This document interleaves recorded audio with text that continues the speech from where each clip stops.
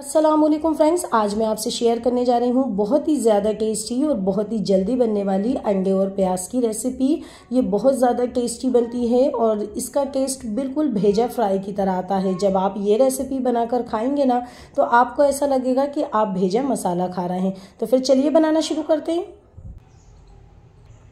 आज की जो हमारी रेसिपी है, वो बहुत ही लो बजट में बनके तैयार होने वाली है। बस यूँ कहें कि बहुत ही फटाफट और बहुत ही ज़्यादा टेस्टी हमारी रेसिपी बन जाएगी, जिसमें हमें सिर्फ़ अंडे और प्याज से ही हम ये रेसिपी बनाकर तैयार करेंगे। तो उसके लिए यहाँ पे मैंने चार अंडे ले लिए हैं और प्याज ली है तीन मीडियम साइज़ की, जिसको मैंने बिल्कुल बारीक चॉप कर लिया है। अब सबसे पहले पैन में डालेंगे हाफ़ कप ऑयल और यहाँ पे ऑयल गर्म हो गया है। अब इसमें डाल देंगे हाफ़ टी स्पून ज़ीरा और ज़ीरे को हल्का सा फ्राई कर लेंगे। बहुत अच्छी खुशबू आएगी ज़ीरे की। और अब इसमें डाल देंगे प्याज। तो जो हमने प्याज को बारीक चॉप करके रखा था, वो इसमें ऐड करेंगे। और प्याज को फ्राई करेंगे। जब तक इसमें लाइट गोल्डन कलर नहीं आ जाता, ज़्यादा नहीं फ्राई करना है। बस लाइट गोल्डन कलर आने तक प्याज को फ्राई करेंगे। और देखिए, प्याज को फ्राई होते हुए दो से तीन मिनट हो गए हैं और प्याज का जो मॉइस्चर था वो ख़त्म हो गया है। प्याज सॉफ्ट हो गई है और देखिए, नरम हो गई है और हल्की सी पक गई है। तो अब इस पॉइंट पे अब इसमें डाल देंगे वन टीस्पून अदरक और लहसुन का पेस्ट और इसी के साथ डालेंगे दो हरी मिर्च, जिसको मैंने चॉप कर लिया है बारीक। अब इसको हम अदरक लहसन के साथ भी प्याज को पका लेंगे तो अदरक लहसन भी भुन जाएगा और प्याज हल्की सी और पक जाएगी और हरी मिर्च का भी बहुत अच्छा फ्लेवर आ जाएगा। यकीन मानिए, ये बहुत ही ज़्यादा टेस्टी ये रेसिपी बनती है। जब आपका कुछ मन नहीं हो बनाने का और कुछ अच्छा खाने का दिल हो रहा हो तो आप इस रेसिपी को फटाफट से बनाकर खा सकते हैं। ये उन लोगों के लिए बेस्ट है। और बहुत ही ज़्यादा टेस्टी लगती है कि बस खा के मज़ा ही आ जाता है। और देखिए, अदरक लहसन बहुत अच्छे से भून गया है। बिल्कुल भी उसमें रॉय स्मेल नहीं बची है और आप देख सकते हैं कि प्याज भी कितने अच्छे से पक गई है, बिल्कुल सॉफ्ट हो गई है। तो अब इसमें हम डालेंगे एक बड़े साइज़ का टमाटर, जिसको मैंने बिल्कुल बारीक चॉप कर लिया है। और इसी के साथ कुछ मसाले डाल देंगे, जिसमें वन टीस्पून धनिया का पाउडर ऐड करेंगे और हाफ़ टी स्पून लाल मिर्च का पाउडर और मिर्च हमने हरी भी डाली थी, इसलिए हम हाफ़ टी स्पून ही ऐड कर रहे हैं। बाकी आप अपने टेस्ट के हिसाब से ऐड करें। जितना आप खाना पसंद करते हैं, अच्छे से मिक्स करेंगे और अब टमाटरों को हमें पकाना है। जब तक टमाटर सॉफ्ट नहीं हो जाते, जब तक हम मसाले को पका लेंगे, जब आप ये अंडे और प्याज की रेसिपी बनाएँगे ना तो बस आपको ऐसा लगेगा कि आप भेजा मसाला खा रहे हैं। बिल्कुल उसी तरीके का टेस्ट आएगा आपके मुँह में और बहुत ही ज़्यादा टेस्टी ये आपको लगेगा। मसाले में थोड़ा सा पानी डालेंगे, तकरीबन चार से पाँच टेबल स्पून जिससे मसाले जलेंगे नहीं और उनकी बहुत अच्छे से भुनाई हो जाएगी। टमाटर भी अच्छे से सॉफ्ट हो जाएँगे तो गैस की फ्लेम को मीडियम कर देंगे और मीडियम फ्लेम पे अब हम मसाले को भूनेंगे और कवर कर देंगे इसको। कवर करके तीन से चार मिनट के लिए मसाले को भून लेंगे। लो फ्लेम पे मसाले को भूनते हुए तकरीबन तीन से चार मिनट हो गए हैं और मसाला बहुत अच्छे से भुन गया है। देखिए, बहुत अच्छे से सॉफ्ट हो गया है और ऑयल भी सेपरेट हो गया है। सारी चीज़ें अच्छे से पक गई हैं। तो अब इसमें हम कुछ और मसाले शामिल कर देंगे, जिससे इसका टेस्ट और दुगना बढ़ जाएगा। तो यहाँ मैंने half teaspoon red chilli flakes लिए हैं।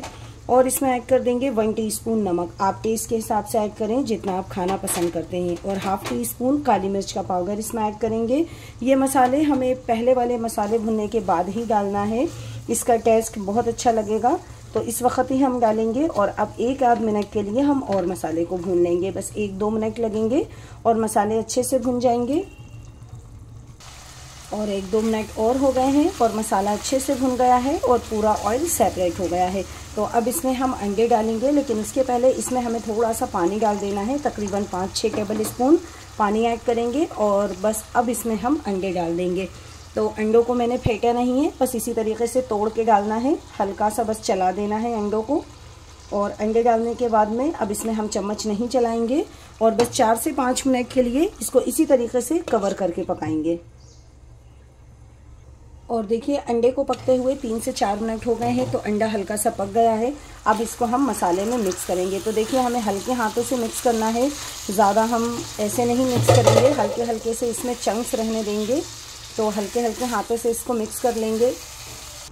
और देखिए, अंडे को मैंने मसाले के साथ अच्छे से मिक्स कर दिया है और हल्के हाथों से मिक्स करना है। ज़्यादा इस तरीके से इसको तोड़ना नहीं है, भुर्जी नहीं बनानी है। जब ये चंक्स आएँगे ना मुँह में अंडे के तो बहुत ही ज़्यादा टेस्टी लगेगा और बस खा के मज़ा आ जाएगा सबको। और सब यही सोचेंगे कि आपने ब्रेन मसाला बनाया है, भेजा मसाला बनाकर तैयार करा है। इस तरीके का इसका टेस्ट है।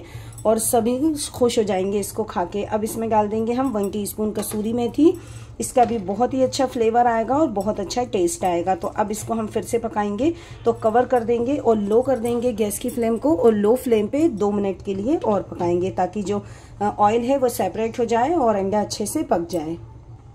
और दो मिनट और हो गए हैं पकते हुए सालन को, और आप देख सकते हैं कि ऑयल सेपरेट हो गया है और कलर देखिए कितना ज़्यादा खूबसूरत आया है और खुशबू तो बहुत ही ज़्यादा प्यारी आ रही है।